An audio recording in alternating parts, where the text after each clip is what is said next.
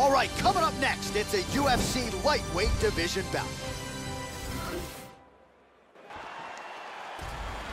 You ready to fight? Ready. All right, round one of this stand-up-only fight is underway. A friendly reminder of the rule set, not a whole lot of them, but you can't grapple or wrestle at all, and if the fight does hit the canvas, no follow-up strikes permitted on the ground.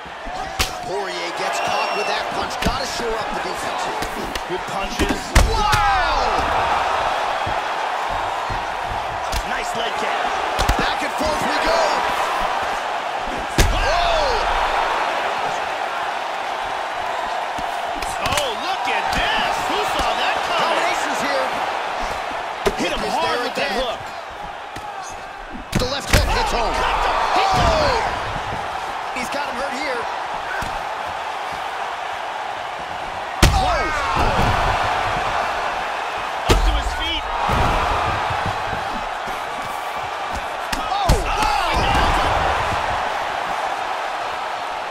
This be it.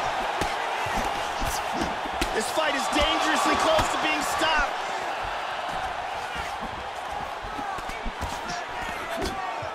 How about that shin?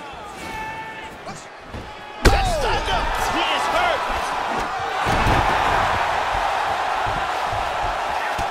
Back up to his feet. Huge block there. Pancake. And there he swung with a haymaker. And he landed the right hand there. Oh, power kick to the arms. Just missed with the straight left hand. Nice shot. Well, he walked into his opponent's range there and ate that hook. He was unprotected, unguarded, and he's been susceptible to that hook in previous UFC fights. Got to figure out a way to move those feet and ultimately circle out and get that head off the center line.